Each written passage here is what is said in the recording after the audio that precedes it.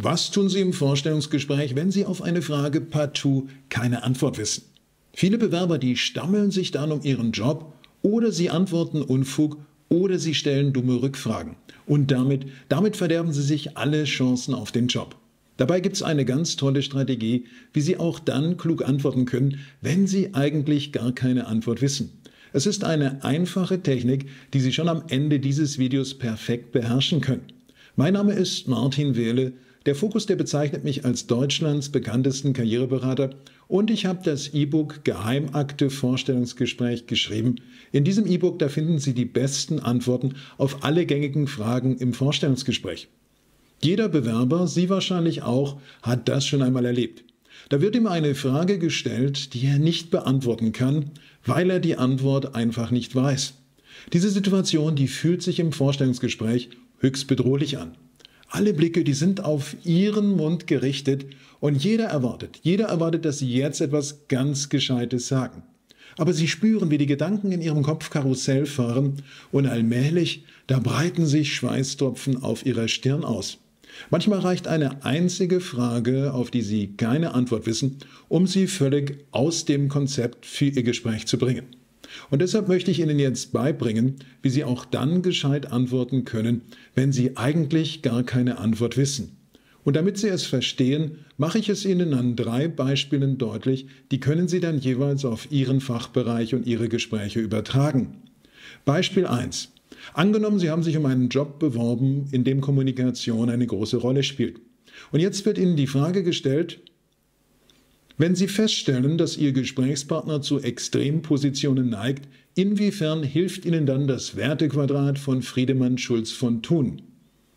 Sie sollen darauf antworten, obwohl Sie mit diesem Modell nichts anfangen können. Was sagen Sie nun? Gleich werden Sie eine tolle Antwort von mir hören, eine Antwort, wie Sie sie sofort geben könnten. Oder Beispiel 2. Sie bewerben sich um eine Position im Handwerk und nun kommt heraus, dass Sie gleich auf einer Großbaustelle eingesetzt werden würden und Ihr künftiger Chef will von Ihnen wissen, welche Erfahrungen haben Sie bislang auf Großbaustellen gemacht? Die Wahrheit aber ist, dass Sie noch nie auf einer Großbaustelle gearbeitet haben und deshalb eigentlich jetzt blank ziehen müssten. Was sagen Sie nun? Ich werde Ihnen gleich eine perfekte Antwort vorstellen. Oder drittes Beispiel, Sie bewerben sich für eine Firma, die vor allem im Außenhandel tätig ist, und nun fragt Ihr künftiger Fachvorgesetzter, gerade haben sich ja die Korruptionsvorschriften auf dem chinesischen Markt verändert, was genau können Sie mir dazu sagen? Leider haben Sie nicht den geringsten Plan von den neuen Korruptionsvorschriften in China. Was um alles in der Welt antworten Sie nun? Ich stelle Ihnen gleich vor, wie Sie dennoch punkten können. All diese Fälle, die haben eine Gemeinsamkeit. Ihnen wird eine Frage gestellt, auf die Sie keine Antwort wissen. Und was tun die meisten Bewerber in einem solchen Fall? Sie sagen zum Beispiel, tut mir leid, das kann ich Ihnen nicht beantworten. Oder dieses Modell ist mir noch nie begegnet. Oder leider habe ich noch nie auf einer Großbaustelle gearbeitet. Aber was bleibt hängen, wenn Sie so antworten? Bleibt hängen, dass Sie kompetent sind, Bleibt hängen, dass sie alles Mögliche können und wissen? Oder bleibt hängen, dass sie eben Dinge nicht wissen und nicht können? Und genau hier liegt das Problem. Wenn Sie keine Antwort geben oder nur Unwissen betonen, dann schadet das Ihrem Gesamteindruck und dann kann Sie das selbst aus dem Konzept bringen und Souveränität kosten. Jetzt werde ich Sie bestimmt nicht auffordern, sich etwas aus den Fingern zu saugen, denn Hochstapelei, das ist ebenfalls eine schlechte Idee. Wer so tut, als wüsste er alles, ohne wirklich etwas zu wissen, der schießt sich selbst ins Knie. Nein, ich stelle Ihnen nun einen Weg vor, wie Sie kompetent antworten können, ohne die eigentliche Antwort zu wissen. Ich mache es Ihnen mal am Beispiel der ersten Frage vor und danach erläutere ich Ihnen dann Schritt für Schritt das System dahinter und ich vertiefe es anhand der nächsten Fragen, sodass Sie es nachher perfekt nachmachen können. Also hier die Frage, wenn Sie feststellen, dass Ihr Gesprächspartner zu Extrempositionen neigt, inwieweit hilft Ihnen dann das Wertequadrat von Friedemann Schulz von Thun? Nun können Sie darauf antworten, und zwar ohne dieses Modell zu kennen. Ich glaube, dass Extrempositionen in einem Gespräch dieses Gespräch immer erschweren. Dann geht ein Gesprächspartner ja davon aus, dass er die Wahrheit gepachtet hat und dass ich auf dem falschen Dampfer fahre. Ich selbst habe das in Gesprächen auch schon in ähnlicher Form erlebt. Zum Beispiel hat neulich ein Gesprächspartner zu mir gesagt, Leiharbeitskräfte, die sind immer unzuverlässig. Ich war anderer Meinung und deshalb habe ich ihn gefragt, welche Ausnahmen von dieser Regel sind Ihnen im Laufe Ihres Berufslebens schon begegnet? Und schon nannte er ein paar Beispiele und er hatte seine Extremposition verlassen. Da konnten wir das Gespräch dann besser fortsetzen. Ist es Ihnen aufgefallen? Sie sind zwar nicht auf das Wertequadrat von Friedemann Schulz von Thun eingegangen mit Ihrer Antwort, aber Sie haben einen anderen, einen wichtigen Punkt dieser Frage aufgegriffen, und zwar, wie Sie mit Extrempositionen in Gesprächen umgehen. Ich verspreche Ihnen, in acht bis neun von zehn Fällen werden Ihre Gesprächspartner mit einer solchen Antwort sehr zufrieden sein. Gleich stelle ich Ihnen das Muster dahinter vor, dann können Sie das eins zu eins auf Ihre Situation und auf die Fragen, die Ihnen gestellt werden, übertragen. Und ich sage Ihnen auch noch, was Sie tun können, wenn dennoch eine Nachfrage kommt, zum Beispiel, und welche Rolle spielt dabei das Wertequadrat von Schulz von Thun? Auch darauf kann man gut antworten. Vorher nehmen wir uns die zweite Frage vor. Welche Erfahrungen haben Sie bislang auf Großbaustellen gemacht? Mein Muster fürs Antworten sieht so aus. Erstens, lenken Sie Ihren Fokus nicht auf die explizite Frage, sondern auf den Punkt, um den es Ihrem Gesprächspartner im Kern geht. Und worum geht es ihm mit dieser Frage? Er will doch wissen, ob Sie auf Großbaustellen klarkommen würden. Antworten Sie also auf das, womit Sie dienen können und nicht auf das, was Ihnen fehlt und wozu Sie nichts sagen könnten. Und zweitens, Schildern Sie eine Erfahrung, die genau das belegt, was Ihr Gesprächspartner herausfinden will, sofern Sie über eine solche Erfahrung verfügen. Und drittens, nennen Sie am Ende Ihrer Ausführungen ein Ergebnis, das Sie erzielt haben. Welche Erfahrungen haben Sie bislang auf Großbaustellen gemacht?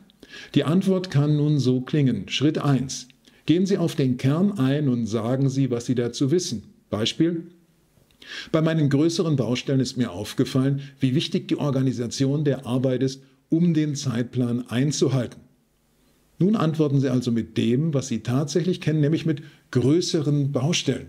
Das Wort größere bemisst sich explizit an Ihrer eigenen Erfahrung, denn Sie sagen meine größeren Baustellen. Es ist gut möglich, dass es sich objektiv betrachtet eher um kleine oder mittlere Baustellen handelt.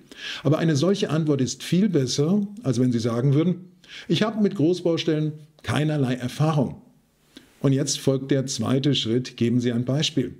Und auf diesen Baustellen habe ich jeden Morgen mit meinen Kollegen einen Plan festgelegt, was wir an diesem Tag schaffen wollen und das auch mit den anderen Gewerken auf der Baustelle abgestimmt. Zum Beispiel, und das führen Sie jetzt näher aus.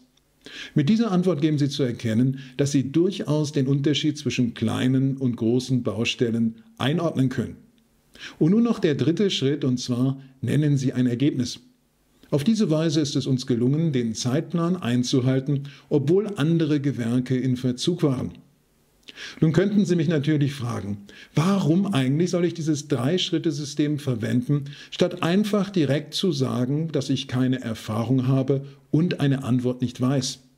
Weil Sie nie eingestellt werden für das, was Sie nicht wissen, sondern immer für das, was Sie wissen.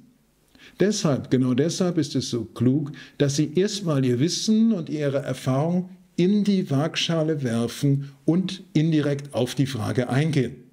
Und ehe ich Ihnen gleich sage, was Sie tun, wenn eben doch eine Rückfrage kommt, zum Beispiel, und welche Rolle spielt dabei das Wertequadrat von Friedemann Schulz von Thun? Oder die Rückfrage im zweiten Fall, und diese Erfahrung, die haben Sie wirklich auf Großbaustellen gesammelt, Ehe ich Ihnen darauf antworte, möchte ich noch einen dritten Fall entwerfen. Antworten Sie auf die Frage nach den neuen Korruptionsvorschriften in China damit, welche Erfahrungen Sie bislang mit Korruptionsvorschriften in vergleichbaren Ländern gemacht haben und wie Sie mit den Neuerungen dort umgegangen sind. Denn heimlich geht es doch darum, ob Sie ein Gefühl für das Thema insgesamt haben und deshalb mit der neuen Situation klarkommen würden. Und was tun Sie, wenn nach Ihrer etwas allgemeineren Antwort eine Rückfrage kommt, etwa zum Kommunikationsquadrat oder zu den Großbaustellen? Dann empfehle ich Ihnen Antworten wie zum Beispiel, ich kenne das Nachrichtenquadrat von Friedemann Schulz von Thun. Mit dem Wertequadrat werde ich mich gern noch näher auseinandersetzen. Oder bezogen auf die Baustellen. Erfahrung auf größeren Baustellen habe ich schon und ich freue mich darauf, bald richtige Großbaustellen kennenzulernen. Merken Sie, welches Muster ich hier bei der Rückfrage verwende? Der Fokus richtet sich wieder nicht auf den Mangel.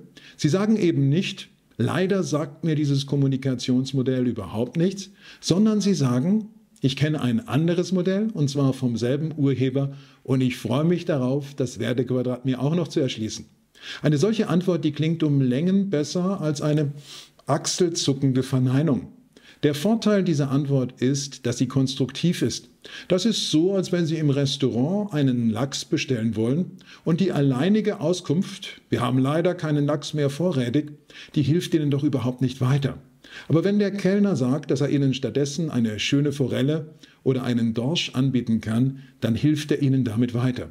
Also, wenn Sie auf eine Frage im Vorstellungsgespräch keine Antwort wissen, dann sollten Sie dennoch eine konstruktive Antwort geben. Führen Sie einfach in dieser Situation das an, was Sie stattdessen wissen.